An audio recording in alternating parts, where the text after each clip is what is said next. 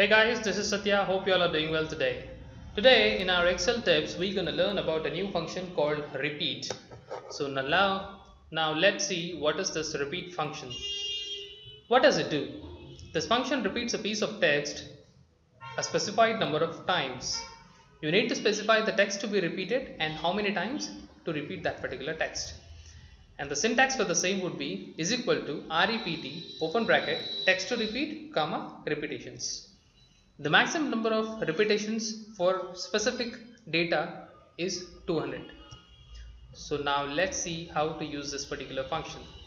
I have a sample data wherein one column I have mentioned the data, the normal raw data and in the other column I am mentioning the number of repeats and the final output we will try how that looks and if you want to repeat this particular data the formula for the same would be rept open bracket select the text and select the number of repeats that which you are looking for close the bracket. In this way if you do a copy paste you will be able to identify the number of repeats. You can write anything or everything. You will get the data output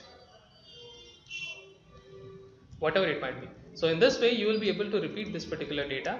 This ideally this kind of you know repetitions is used for the analytical purposes. To analyze the data and to analyze the portfolio of the health of the portfolio. So in this way you will be able to use this particular repeat function.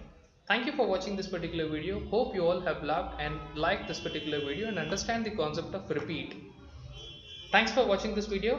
Please do subscribe for our channel and please like this particular channel and please do comment on this particular channel as well if you have any comments or if you have any suggestions for us. Thank you so much for watching this video. Thank you.